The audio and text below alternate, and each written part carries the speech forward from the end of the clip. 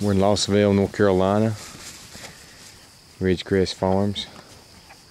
Mr. Mark Bray. Gonna be one load of ah. heifers. Gonna be about 70% black. Rest of it will be Char crosses. Be one or two reds. These heifers just gonna be a medium flesh.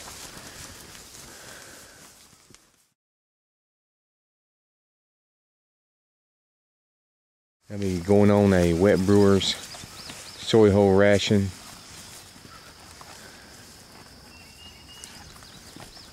It's a good set of feeding heifers.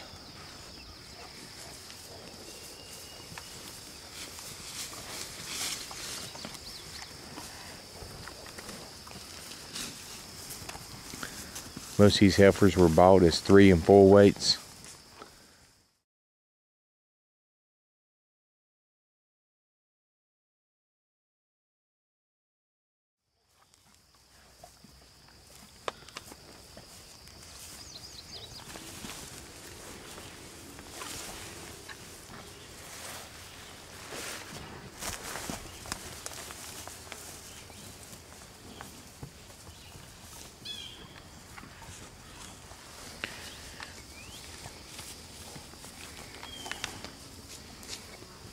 Mr. Mark Bray, Ridgecrest Farms, Lawsonville, North Carolina.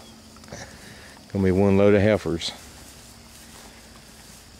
All these heifers have been double vaccinated.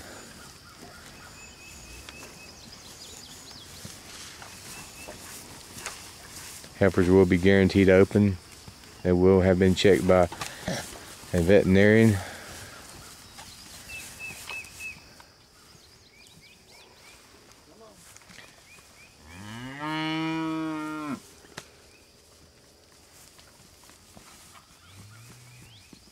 Nice of